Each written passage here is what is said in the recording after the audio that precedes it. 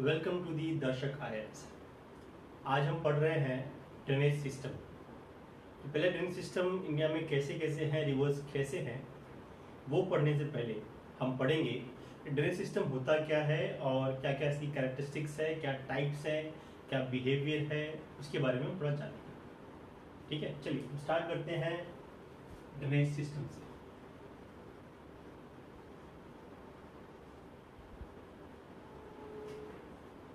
Drain system को हम generally दो पार्ट में डिवाइड कर देते हैं। एक हमको हम कहते हैं सीक्वेंट ड्रेनेज सिस्टम जिसको हम कहते हैं इन सीक्वेंट सिस्टम हम बेसिक जो है वो कर रहे हैं इंडियन ज्योग्राफी में। डिटेल में ड्रेनेज सिस्टम को हम करेंगे फ़िज़िकल ज्योग्राफी जहाँ पर वो एग्ज़ाम पॉइंट ऑफ़ व्यू पे ज़्यादा इंपॉर्टेंट होगा, यानी जिनका मेंस पॉइंट ऑफ़ व्यू ज़्यादा इंपॉर्टेंट होगा या ऑप्शनल पॉइंट ऑफ़ व्यू पे ज़्यादा इंपॉर्टेंट होगा। फिर इंडियन जोग्राफी में हमारे लिए जो इंपॉर्टेंट है बेसिक्स है, उसके बारे में हम जानते हैं। सीक्वेंट सिस्टम हम चार पार्ट में डिवाइड कर देते हैं। एक होता है कॉन्सिक्वेंट एक होता है सबसिक्वेंट एक होता है रिसिक्वेंट एक होता है ऑप्सिकल उसी तरह इंसिक्वेंट सिस्टम को दो पार्ट में डिवाइड कर देते हैं.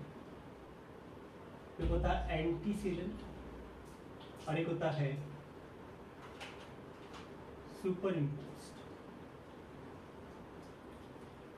ये टाइप्स हैं ड्रेनेज सिस्टम के. अब ड्रेनेज सिस्टम क्या होता है? ड्रेनेज सिस्टम जनरली हम कहते हैं the behaviour of flow of water streams, glacier from top of the mountain to the below region.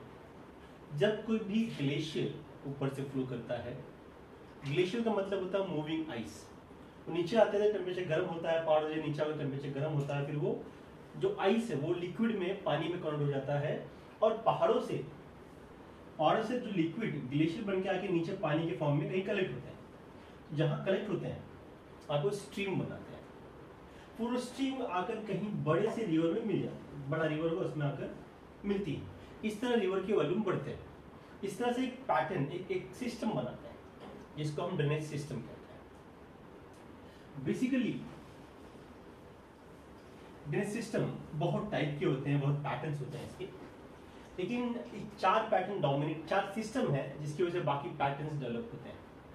तो सिस्टम यही पैटर्न बहुत सारे पैटर्न्स के बारे में डिटेल में हमें इंडियन ज्योग्राफी में नहीं पढ़ना है। पैटर्न्स के बारे में डिटेल में हम पढ़ेंगे फ़िज़िकल ज्योग्राफी में।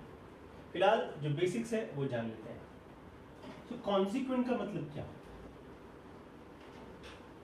तो पहले हम सीक्वेंट की बात करते हैं। सीक्वेंट का मतलब क्या होता है? सीक्वेंट का मतलब होता है रिवर कोई सीक्वेंस को फॉलो करता है।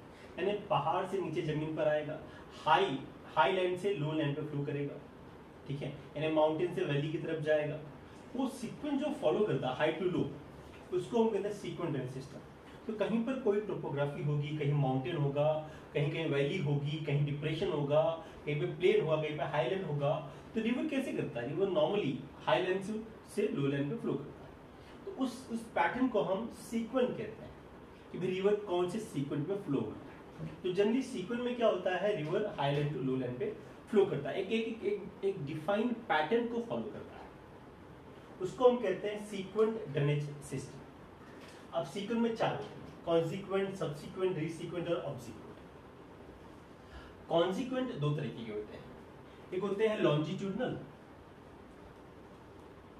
लॉन्जिट्यूडनल यहाँ ड्रॉ करते हैं हम. तो कॉन्सिक्वेंट दो तरीके के होते हैं. एक होते हैं लॉन्जिट्यूडनल और एक होते हैं लेटरल दोनों को समझते हैं लॉन्जिट्यूडनल लेटरल क्या होता है? लॉन्जिट्यूडनल की मैं बात करूँ लॉन्जिट्यूडनल को हम मास्टर कॉन्सिक्वेंट कहते हैं।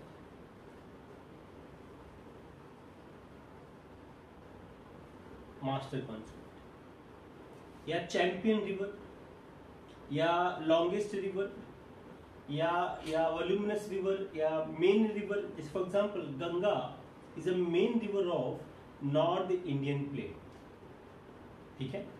सो so, गंगा क्या है? काफ़ी लंबी चौड़ी। लंबी है तो लेंथ ज़्यादा बड़ा है तो लॉन्जिट्यूडनल है। फिर लेटरल क्या होता है? अब गंगा भी यहाँ से फ्लो करती है ऐसे। गंगा फ्लो कर रही है। ये लॉन्जिट्यूडनल लेंथ हो गया अब गंगा ये join by different river Ram Ganga है हमारे पास। देन हमारे पास गोमती है। देन हमारे पास घगरा है। देन हमारे पास गंगटक है। देन हमारे पास कोसी है देन हमारे पास महानंदा है। गेटिंग तो ये जो रिवर लिटरली डिवाइड कर रही है कहीं और से आके डिवाइड कर रही है, कहीं से और आकर ज्वाइन कर रही है। ये क्या है? ट्रिब्यूटरीज है। अब ट्रिब्यूटरीज के बारे में, यानी क्या? यानी कि ये जब गंगा बना, तब ये रिवर्स भी बनी होगी। उसी समय के पहले और वो ऊपर से नीचे आती गंगा भी ऊपर से नीचे, गंगोत्री से नीचे आती है, और मेन स्ट्रीम बनाती है। तो ये क्या है लॉन्जिट्यूडनल स्ट्रीम और ये क्या है लेटरल स्ट्रीम्स तो this are longitudinal stream and this are lateral streams which joins the main consequent river or champion river by literally at 90 degree, or may not be 90 degree, but they divide laterally. तो इस lateral reverse को हम कहते हैं, हम कहते हैं lateral consequence इसको हम मास्टर कॉन्सिक्वेंस या लॉन्जिट्यूडनल कहते हैं। चलिए। अब हम इसको रब करते हैं और जानते हैं, बाकी रिवर्स क्या है। दूसरी बात, याद रखिए कॉन्सिक्वेंट का मतलब ये भी होता है oldest river so master consequent हमने कंप्लीट कर लिया मास्टर कॉन्सिक्वेंट सब्सिक्वेंट देखते हैं सब्सिक्वेंट किसको कहते हैं। सब्सिक्वेंट क्या होती है? पहला डिफरेंस मास्टर कॉन्सिक्वेंट में और सब्सिक्वेंट में ये होता है टाइम पीरियड यानी भाई कॉन्सिक्वेंट ओल्ड होगा सब्सिक्वेंट उसके बाद में बनेगा। तो पहले क्या बना होगा? पहले बना होगा कॉन्सिक्वेंट पहले गंगा बनी होगी फिर गंगा की ट्रिब्यूटरीज बने होंगी। तो वो सिस्टम है। पहले गंगा बनेगा, फिर इसकी ट्रिब्यूटरीज बनेंगी। ट्रिब्यूटरीज मतलब सब्सिक्वेंट रिवर्स बनेंगे। तो सब्सिक्वेंट रिवर्स बने। कब? इसके बनने के बाद। अब क्या हुआ? बनने के बाद सब्सिक्वेंट रिवर क्या करते हैं? तो गंगा बन गई पहले। तो सब्सिक्वेंट रिवर वो रिवर्स होते हैं जिनको हम जनरली लेटरल कॉन्सिक्वेंट कहते हैं। मतलब गंगा के बाद बनी है, लेकिन गंगा को आके ज्वाइन कर तो अगर प्रैक्टिकली मैं कहूँ कि लेटरल कॉन्सिक्वेंट को मैं सब्सिक्वेंट कहूँगा तो मैं गलत नहीं हूँ। तो लेटरल सब्सिक्वेंट है consequent only difference is what they are made they are created they developed after the master consequent यही डिफरेंस है। And they join the main river either perpendicularly, or they may be parallel to some extent and join for example Yamuna Yamuna parallel join कर लेती कहीं ना कहीं आकर। तो यमुना भी एक तरीके की सब्सिक्वेंट रिवर ठीक है? तो यमुना भी सब्सिक्वेंट रिवर है। ठीक तो सब्सिक्वेंट के बारे में जान लिया कि पहली बात क्या है? भाई, वो मेन रिवर नहीं होगी चैंपियन रिवर नहीं होगी ओल्ड रिवर नहीं होगी मेन रिवर के बाद बनी होगी और मेन रिवर की ट्रिब्यूटरीज ठीक है? कहीं कहीं पैरेलल भी होती है, लेकिन बाद में होती है। तो मोस्टली जो होती हैं, वो क्या होती हैं? ज्वाइन करती है ट्रिब्यूटरी ठीक ठीक रीसिक्वेंट में आते हैं। रीसिक्वेंट का सारा राज इस री में छुपा है। री का मतलब होता है रीसेट जो बहुत ही बहुत ही जल्दी बनी है ना, हाल ही में बनी है, बहुत देर बाद बनी है, यानी कॉन्सिक्वेंट और सब्सिक्वेंट बनने के बाद बनी है। इसलिए हम कहते हैं रीसेंट रीसिक्वेंट ऐसी कौन कौन सी रिवर हो सकती हैं? अब वो कोई भी रिवर जो मेन रिवर के बाद बनी है। लेकिन लेकिन, बात बनी हो तो जो मेन रिवर कॉन्सिक्वेंट रिवर या सब्सिक्वेंट रिवर को पैरल होती है। मोस्टली मोस्टली पैरेलल होगी। या हो सकता है ट्रिब्यूटरीज भी हो। पैरेलल भी हो सकती है सकता है ट्रिब्यूटरीज भी हो। पर सबसे नई रिवर होगी तो उस रीजन में कोई नई रिवर सबसे नई रिवर होगी तो उसको हम कहेंगे रीसीक्वेंट रिवर्स ठीक है? चलिए। तो रीसीक्वेंट रिवर सब्सिक्वेंट की तरह हो सकती है, लेकिन क्या है? बाद में बनी सबसे देर में जो बनी उनको हम कहेंगे रिसीक्वेंट नहीं रिसेंटली जो बनी, ठीक है? चलिए। दूसरा है हमारे पास ऑब्सिक्वेंट ऑप का मतलब में ही राज है ऑप का मतलब है अपोजिट यानी जो मेन रिवर के अपोजिट फॉर एग्ज़ाम्पल अब कोई रिवर है कि जो वेस्ट से ईस्ट में फ्लो कर रही दूसरी कोई रिवर है जो ईस्ट से वेस्ट में फ्लो कर रही हो सकता है कि रिवर्स की जो ऐसे फ्लो कर रही है और इसकी ट्रिब्यूटरी है जो वेस्ट में ऐसे फ्लो कर रही है तो भाई ये क्या हो गया? ये दोनों दूसरे को क्या हो गया? ऑब्सिक्वेंट कोसी के साथ है तो सन कोसी कोसी को ज्वाइन करती है, उसका फ्लो जो है अपोजिट है. सन कोसी यहाँ से आती है वेस्ट से. और ये कोसी यहाँ से गंगा ज्वाइन करती है. ऐसे आती है, ऐसे. गंगा ब्रह्मपुत्र, गंगा जब इंटर करती है इंडिया में ब्रह्मपुत्र जब इंडिया में इंटर करती है, उसका डायरेक्शन कैसा है? ऐसे. लेकिन ब्रह्मपुत्र ऐसा नहीं कि मास्टर ऑब्सिक्वेंट है कि आ, ये ब्रह्मपुत्र ऑरिजिन होती कहाँ से? तिब्बत से ऑरिजिन होती। है तो ब्रह्मपुत्र तिब्बत में जब निकलती है तो वो अपोजिट नहीं है। इसलिए हम we cannot say Ganga and Brahmaputra are obsequent to each other but if I say they are obsequent in India तो आई एम राइट ठीक है? तो ऐसे ठीक है। तो वो रिवर जो अपोजिट हो दूसरा क्या है? ऑब्सिक्वेंट चैंपियन रिवर हो सकते हैं अपनी जगह पे। जहाँ से वो आ रहे हैं, वो हो क्योंकि हम कंपेयर क्यों करते हैं कॉन्सिक्वेंट को ऑब्सिक्वेंट को कंपेयर करते हैं।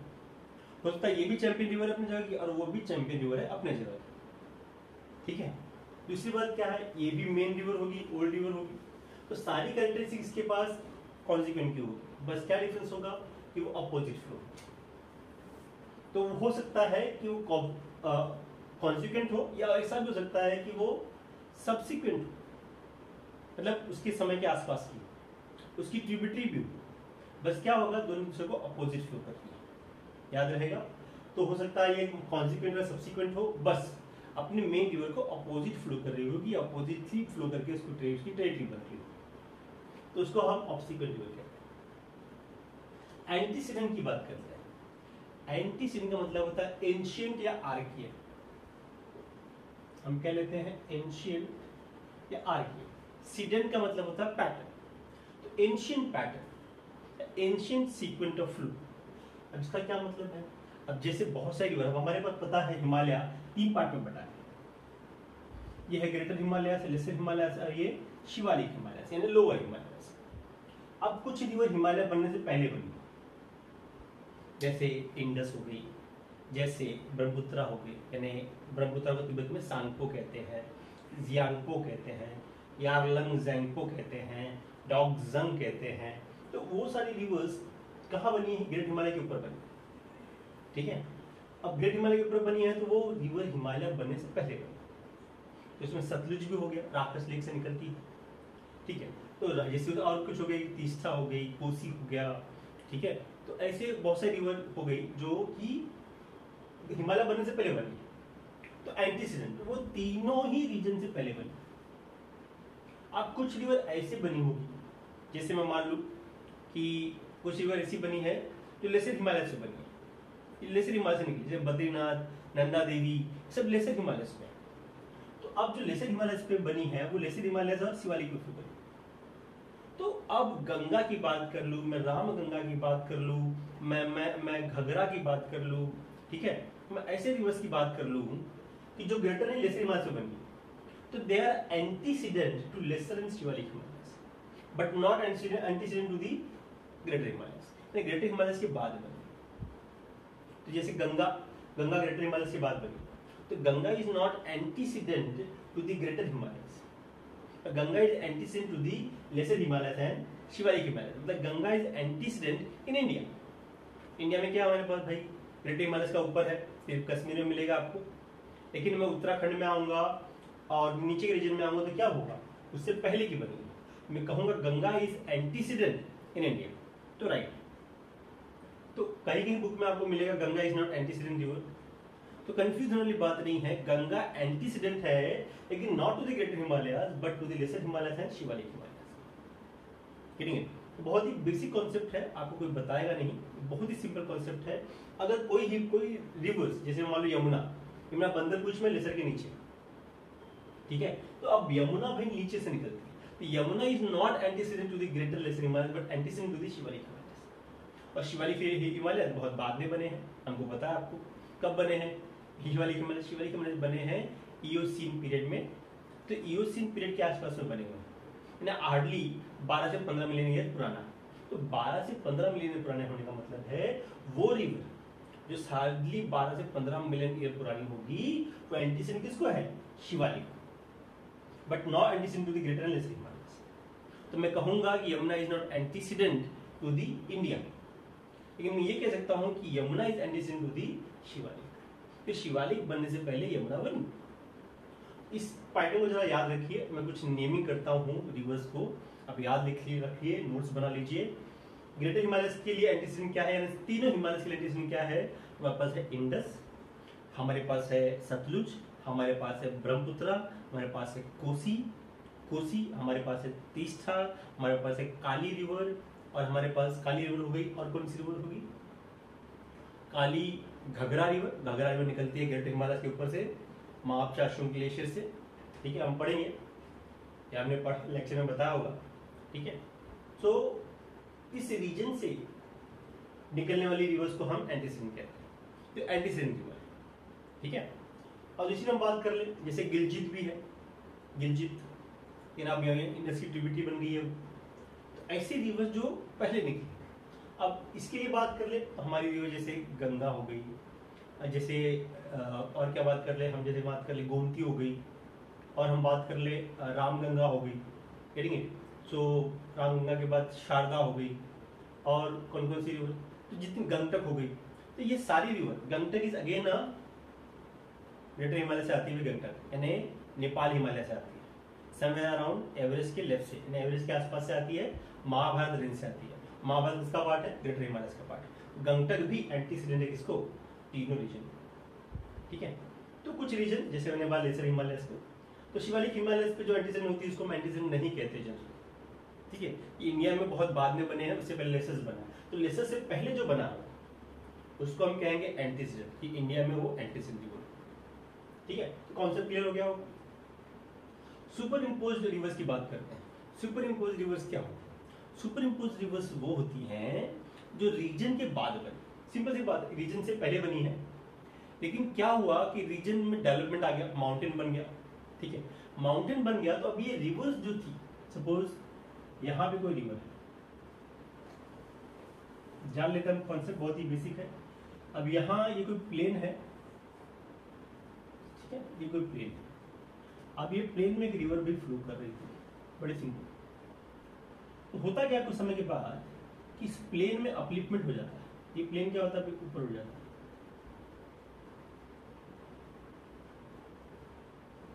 तो ये रिवर क्या करेगा? अब प्लेन जैसे जैसे उठेगा, ऊपर उठने लगेगा। तो रिवर क्या करेगा? इस रीजन को कट करना चालू कर कट करेगा।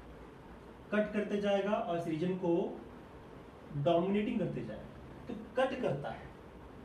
तो जब कोई पहाड़ धीरे डेवलप हो रहा है तो ये रिवर क्या करेगी? उस पहाड़ को धीरे धीरे कट करते जाएगा। कट करके अपना रास्ता बनाएगा। रिवर क्या करेगी? अपने डायरेक्शन को इस पर इम्पोज करते जाती है। इसको हम सुपर इम्पोज तो ऐसा भी होता है कि कभी कभी अपलिफ्टमेंट का जो रेट होता है, बहुत फास्ट होता है, बहुत तेज होता है। तो जब तेज होगा तो ये जो सुपर इम्पोज रिवर्स है उसके साथ लिंक नहीं हो पाती, यानी उसके साथ पैरेलल नहीं चल पाती तो वो काट नहीं पाते। तो होता क्या है, ये रिवर्स अपने कोर्स को थोड़ा बदल देते बदल के फिर धीरे धीरे कट करके वो अपना नया कोर्स बनाते तो कोर्स शिफ्ट हो जाएगा, जैसे तीस्ता रिवर है हमारे पास। तीस्ता के जो एंटी सिलेंडर तो कोस्ट जगह बदले कट करके बनाए तो ऐसी बहुत सारी एंटीजन रिवर है जो सुपर इम्पोज है, जैसे मैंने बताया था कि इंडस इंडस ने ग्रेटर हिमालय को सुपर इम्पोज किया। वहाँ पे वो इंडिया का डीपेस्ट जॉर्ज बनाया जो फाइव थाउज़ेंड ट्वेंटी मीटर्स का हाई है, ठीक है काराकोरम में। जैसे नामचा बरवा में ब्रह्मपुत्रा ने बनाया, जो भी काफ़ी डीप है फोर थाउज़ेंड फाइव हंड्रेड के आसपास। तो ये जॉर्जेस बनाए जा रहे हैं रिवर्स कट करके बनाते हैं। तो अभी हिमालय कट करना आसान है, लेकिन जहाँ रीजन बहुत रॉकी होता है, जैसे पेनिनसुला रीजन में, जैसे वेस्टर्न घाट तो वेस्टर्न घाट में हमने पढ़ा था कि लावा बाहर आया तो लावा बाहर आया वेस्टर्न घाट बन गया लैंड टूट गया यानी फॉल्टिंग हो गई तो वेस्टर्न घाट बन गया। तो वेस्टर्न घाट पे कोई रिवर गोदावरी आ गई। कृष्णा तो ये क्या कर रहे हैं? ऊपर आए तो जब नीचे जाएँगे तो रिजन क्या करेंगे? तोड़ते हुए जाएँगे। तो रिवर पहले थी, लेकिन अप्लीमेंट हो गया। अप्लीमेंट होने के बाद रिवर्स रेज हो गए। तो अपने रास्ते को कट करके बनाते हैं। तो जब कभी भी कोई रिवर कोई अप्लीमेंट हो जाए रिवर अप्लीमेंट को कट करके अपना रास्ता बना ले तो उस तरह के कटिंग्स को हम कह सकते हैं सुपर इम्पोज कट तो कौन कौन सी रिवर आती है इसमें? इसमें आती है पेनिनसुलर रिवर पेनिनसुलर रिवर में सारी, हम गोदावरी कह लेंगे, हम कृष्णा कह लेंगे। और कावेरी भी कह ले नॉर्दर्न रीजन में कावेरी वेस्टर्न रीजन में कावेरी है, ठीक है? वेस्टर्न में कावेरी कट करके बनाती है। और कौन कौन सी हम कह लेते हैं सोन रिवर हम कह लेते हैं चंबल, ठीक है? हम चंबल कह लेते हैं, हम कह लेते हैं बिटवा बिटवा। हम बिटवा कह लेंगे। हम सुबर्ण रेखा कह लेंगे। सुबर्ण रेखा जो नॉर्दर्न रीजन जहाँ से फ्लो करती है, वहाँ वो लैंड कट करके बनाती है। ठीक ये कुछ रिवर है जो सुपर इम्पोज रिवर्स है। ठीक है? याद रखिए सुपर इम्पोज रिवर्स की कुछ डेफिनेशन है। कुछ जब हमने बात की उसके बारे में। ठीक है? तो ये क्या था हमारा ड्रेनेज सिस्टम तो इस तरह से रिवर्स फ्लो करती हैं किसी रीजन में, किसी टोपोग्राफी में, अपने शेप्स को डायरेक्शन को बदलती है।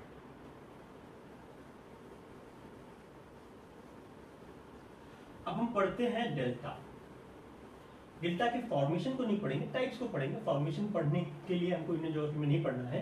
फॉर्मेशन हम पढ़ेंगे फ़िज़िकल ज्योग्राफी में। तो देख लेते हैं डेल्टा क्या होता है condition of formation of delta क्या होता है, ठीक है? Condition of formation of delta क्या होता है? टाइप ऑफ़ डेल्टा क्या होता है? डेल्टा क्या होता है डेल्टा जानते हैं।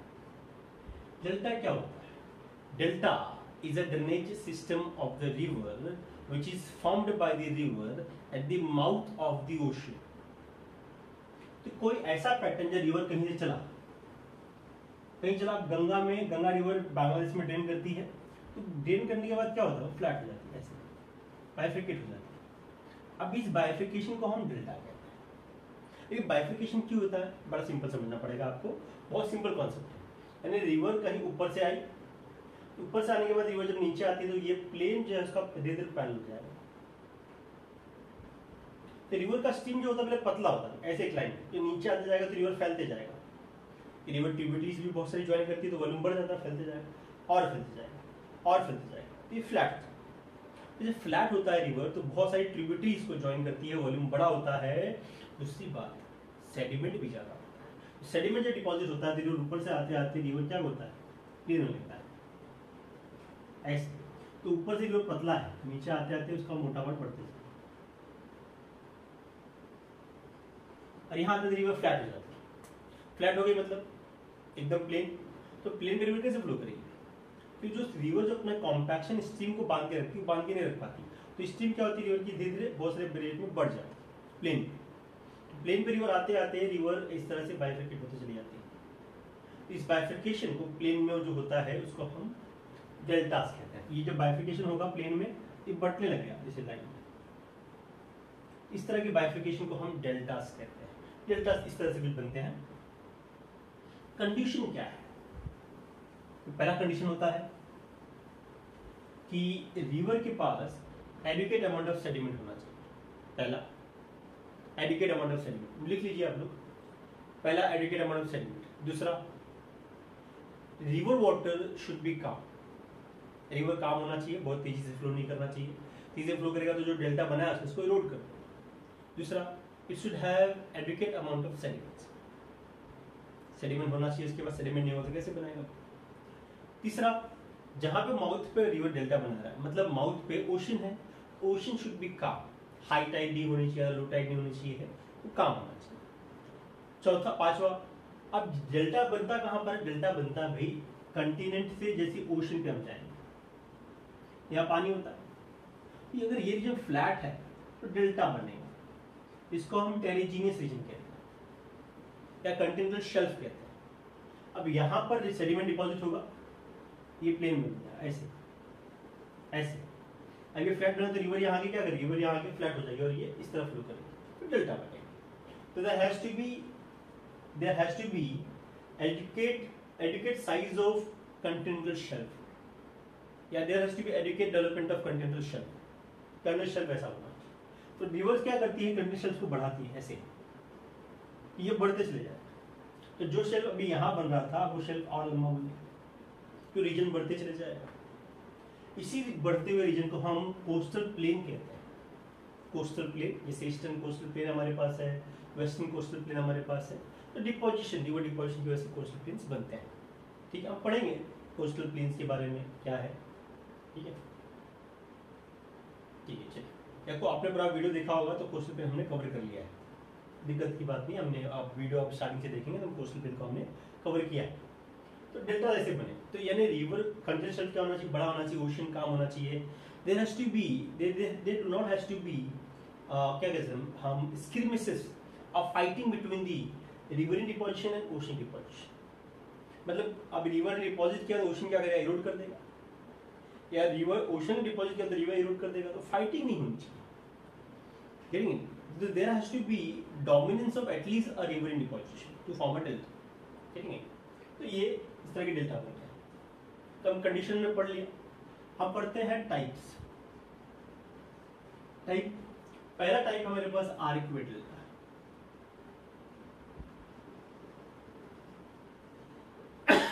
आर्कवेट आर का मतलब समझते हैं आप आर्क आर्क आर। में क्या होता है? There has to be balance between the riverine deposition and ocean deposition balance होना चाहिए। तो बैलेंस होना चाहिए। रिवरिंग डिपोजिशन जो होगा, वो तो बराबर होगा किसके डिपोजिशन के?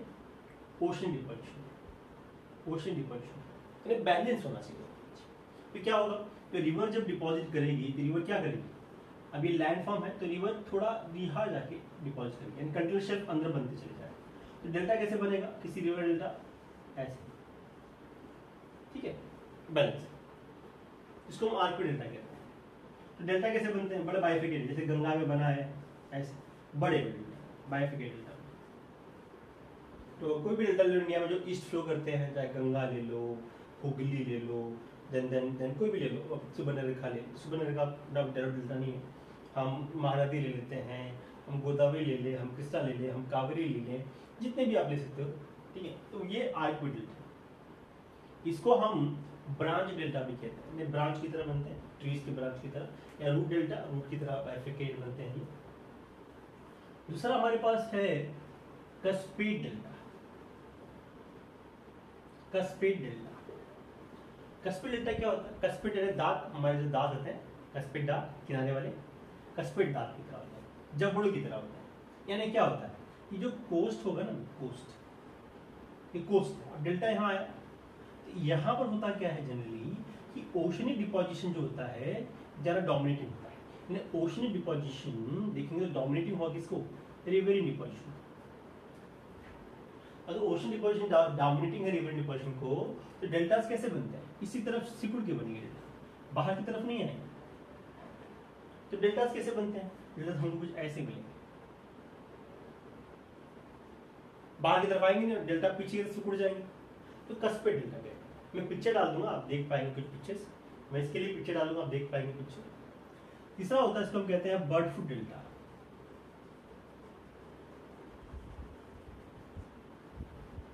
bird flu delta में सिंपल है, भाई river deposition exceed ocean deposition यानी जो डेल्टा है, अभी कोस्ट तो डेल्टा बनेगा कहाँ? डेल्टा बनता है जाके रिवर में जाके। ओशन में जाके डेल्टा बनता है, ऐसे। ऐसे। तो आपने देखो को जो कोस्ट से बहुत आगे जाके बनता है। तो रिवर डिपोजिशन ज़्यादा होता है। लेकिन यहाँ रिवर का फ्लो ज़्यादा होता है वॉल्यूम ज़्यादा होता है तो ब्रांच ज़्यादा नहीं बनती। इसकी तरफ़ ब्रांचेस नहीं बनेंगे। दो या तीन बनते हैं। दो तीन या मैक्सिमम चार। तो चिड़ियों के मंजू की तरह आपको दिखेंगे, इसको हम कहते हैं बर्ड फुट डेल्टा ठीक है? बर्ड फुट डेल्टा चिड़ियों के पंजे की तरह दिखेंगे बर्ड फुट डेल्टा तो बर्ड फुट डेल्टा हम कह सकते हैं ठीक। तो तीन हो गया, एक दिन डेल्टा इसको हम कहते हैं ट्रंकेटेड डेल्टा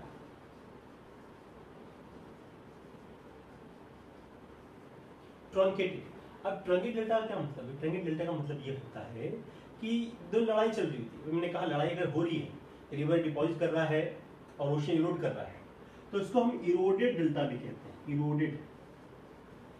डेल्टा ठीक से बनेगा ही नहीं। कभी रिवर डालेगा तो ओशन का टाइम बढ़ जाएगा तो ओशन इरोड कर देगा। तो एक, फॉर्मेशन दिखता ही नहीं रहता। एक मिनट तो ये का कोई एग्जांपल नहीं है मेरे पास लेकिन ये रिवर खुद रहता है ये। बहुत सारे बहुत सारे रिवर जहाँ पर जहाँ पर आ, मैं कहूँगा कि ओशन कंट्री बहुत छोटे होते हैं जैसे ये ये बहुत छोटा हो गया ऐसे। यहाँ पर रिवर ज़्यादा हावी होते हैं। ठीक है? तो वहाँ पर इरोडेड डेल्टा को हम ट्रंकेट डेल्टा कह सकते हैं। एक होता है इसको हम कहते हैं एस्ट्रीन डेल्टा। एस्ट्रीन डेल्टा। अब एस्ट्रीन डेल्टा को थोड़ा समझ सकते हैं। कैसे? एशन डेल्टा क्या होता है? एशन का मतलब को पता है खाड़ी। अब खाड़ी क्या होता है? अब खाड़ी के लिए आपको जानना पड़ेगा, खाड़ी क्या होती है। हमने देखा होगा, बॉम्बे, हमारा बॉम्बे या मुंबई, उसको हम कहते हैं। बॉम्बे का इतिहास जानते हैं। बॉम्बे को पोर्चुगीज ने जब एक्वायर किया था तो उसे हम कहते थे बॉम्बे। तो बेन का मतलब खाड़ी होता है, पोर्चुगीज लैंग्वेज में। बे बॉम मतलब बिग। तो बड़ी खाड़ी। तो उसे उन्होंने नाम दिया बॉम्बेन। ठीक है? फिर बॉम्बेन बन गया बॉम्बे। इंग्लिश में बे का मतलब खाड़ी।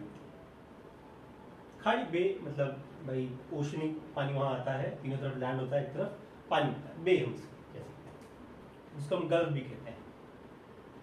बे, अब हुआ क्या कि भाई, अगर तुमको पता है कि मुंबई कैसे बन गया बाबा साहब ठाकरे जी ने कर दिया, ठीक है? जब उनकी गवर्नमेंट पावर में है तो उन्होंने एक ऑर्डिनेंस पास किया भी कल से बॉम्बे नहीं रह जाएगा, मुंबई रह जाएगा तो Mumbai symbols Mumba Devi temple in Mumbai.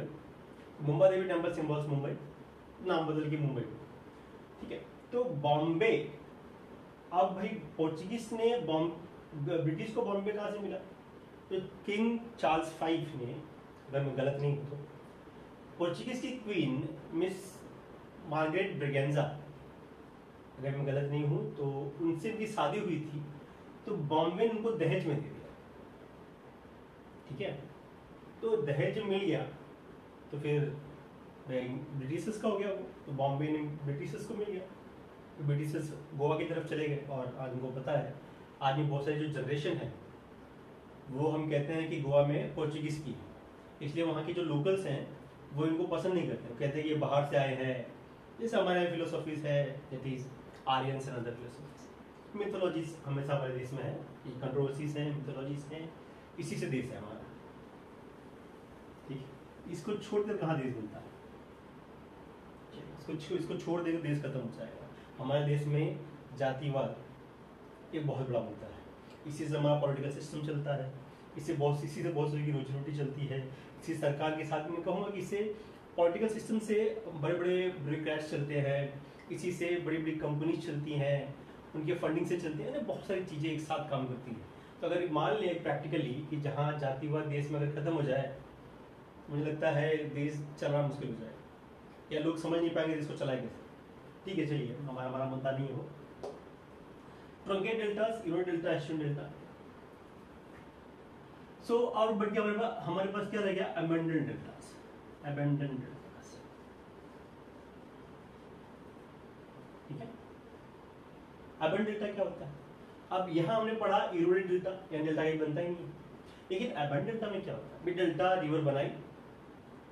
तो रिवर ने एक बार डेल्टा बनाया, जब रिवर का फ्लो ज़्यादा था। पानी ज़्यादा आया रिवर ने बना दिया। लेकिन जैसे ही बारिश खत्म हो जाती है तो रिवर्स क्या होते हैं? रिवर का फ्लो पतला हो जाता है। फ्लो पतला हो गया तो पानी कम हो पानी कम हो गया तो क्या होगा? ओशन यहाँ से आएगा, इसको रूट कर देगा। पूरा डेल्टा बंद हो जाएगा। बंद हो गया। फिर ये फिर बहेगा, फिर बनाएगा, फिर अबेंड हो जाएगा। तो रिवर क्या करेगा तो ये डेल्टा में क्या होता है? रिवर्स इस तरह से लड़ाई चल रही होती है। तो इसमें मेन प्रॉब्लम क्या है? मेन प्रॉब्लम है decrease in the flow of volume of the rivers ये काफ़ी बड़ा प्रॉब्लम तो होता इसी की तरह है, ट्रंकी डेल्टा की तरह। बस इसमें होता क्या वॉल्यूम सप्लाई कम ज़्यादा होते रहता है। इसकी वजह से ये डेल्टा फिर ब्लॉक हो जाता ब्लॉक हो जाएगा, फिर इसका फ्लो बढ़ेगा, फिर ब्लॉक को तोड़ेगा, डेल्टा बनाएगा ये लड़ाई चल रही होती है। तो हम देखेंगे ब्लॉक डेल्टा ब्लॉक डेल्टा में क्या होता है? कि ओशियन क्या करेगा? जो डेल्टा बना, उसको पूरी तरह से बिखार देगा, तोड़ देगा ब्लॉक कर देगा। तो अगर रिवर्स ने Block deltas are generally formed due to their blockings of the rivers into the oceans. These blockings may take place because of rise and fall of sea level. It may also be caused to high tide and high ocean deposition at the mouth of the delta. Deltas these deltas are formed maybe because of invariable flow of the rivers. River do not have enough water some of the times. So flow of river also decreases. It may also causes the formation of block deltas. Block deltas may be tectonic in origin. It may be caused because of some movement of the movement of the earth or plates near to the mouth of the deltas. So deltas are permanently blocked and no formation deltas takes place at the mouth of the river. Maybe it may be also because of mismanagement of the catchment area.